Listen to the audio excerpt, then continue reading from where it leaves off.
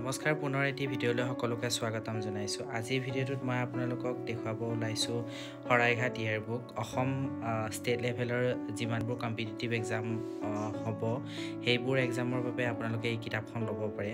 ইয়াত আছে অসম ভাৰত বিশ্বৰ শেহতীয়া ঘটনাৱলী এশ এক হেজাৰ পাঁচশৰো অধিক পৃষ্ঠা পঁচাশীটা অধ্যায় প্ৰতিযোগিতামূলক পৰীক্ষাৰ উপযোগী হোৱাকৈ অসমৰ বিষয়ক বিষয়ক বিশেষ তথ্য বিভিন্ন বিষয়ৰ হাজাৰ তথ্য কেইবাশ প্ৰশ্নোত্তৰ তালিকা আৰু মানচিত্ৰ। বিজ্ঞান পৰিৱেশ প্ৰযুক্তিবিদ্যা ইতিহাস সভ্যতা ভূগোল সমাজ বিজ্ঞান ব্যক্তি সাহিত্য সাহিত্য শিল্প চলচ্চিত্ৰ বঁটা ক্ষেত্ৰ শাসন ব্যৱস্থা অৰ্থনৈতিক ব্যৱস্থা স্বাস্থ্য ৰাষ্ট্ৰসংঘ ইত্যাদি গোটেইবোৰ সন্নিৱিষ্ট কৰা আছে। আৰু ভিতৰত কণ্টেণ্টছবোৰ মই দেখুৱাই দিছোঁ। কণ্টেণ্টছবোৰত কি কি দিয়া আছে? কম্পিটিটিভ এক্সামৰ যিসকলে দিম বুলি ভাবি আছে তেওঁলোকে এই কিতাপখন ল'ব পাৰে।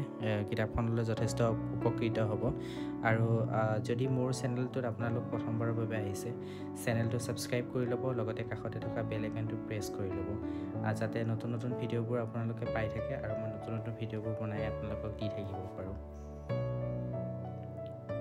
গোটেইবোৰ ইয়াত সন্নিৱিষ্ট কৰা আছে এইট্টি ফাইভৰো অধিক অধ্যায় আছে।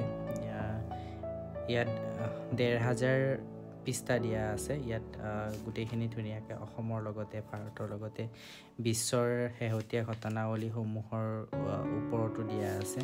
আৰু ষ্টুডেণ্টবোৰে এইখন কিতাপ পঢ়িলে যথেষ্ট উপকৃত হ'ব বুলি মই ভাবোঁ। কাৰণ ইয়াত অকল অসমকে সন্নিৱিষ্ট কৰা নাই ভাৰত বিশ্ব গোটেইবোৰেই সন্নিৱিষ্ট কৰা আছে। ইয়াত history geography polity economics science and technology biodiversity ecosystem এইবোৰ গোটেইবোৰ দিয়া আছে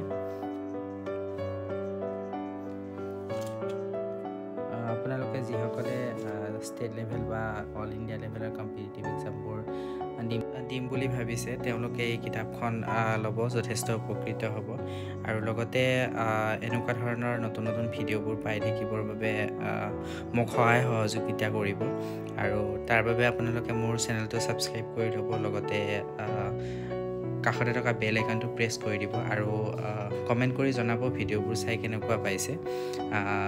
কমেণ্ট কৰি জনালে মই জানিব পাৰিম কেনেকুৱা ধৰণৰ ভিডিঅ' আপোনালোকে মোৰ পৰা বিচাৰে বা কেনেকুৱা ধৰণৰ কিতাপৰ ভিডিঅ'বোৰ বিচাৰে।